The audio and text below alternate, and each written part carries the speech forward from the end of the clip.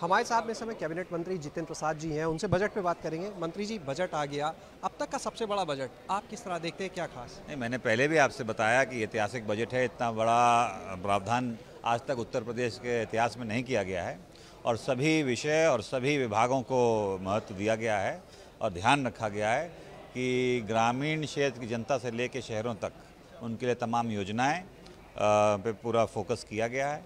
और जहाँ तक विभाग जो मैं देख रहा हूँ, उसके बारे में मैं कह सकता हूँ कि एक बहुत महत्वाकांक्षी योजना बनारस के सौंदर्यकरण के लिए और गंगा जी के दूसरे तट के, को डेवलप करने के लिए 500 करोड़ पहले किस्त उसकी स्वीकृत की गई है जिसपे जो दर्शन होंगे बनारस में वो और सुखद होंगे और वहाँ ब्रिज और तमाम इंफ्रास्ट्रक्चर स्थापित किया जाएगा। तो विपक्ष आंकड़ों का मकड़ जाल बोल रहा है इसे।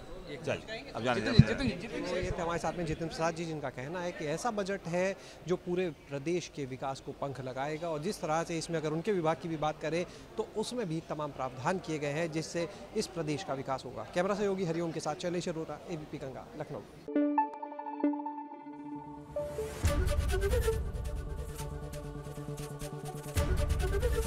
एबीपी गंगा खबर आपकी जुबा आपकी।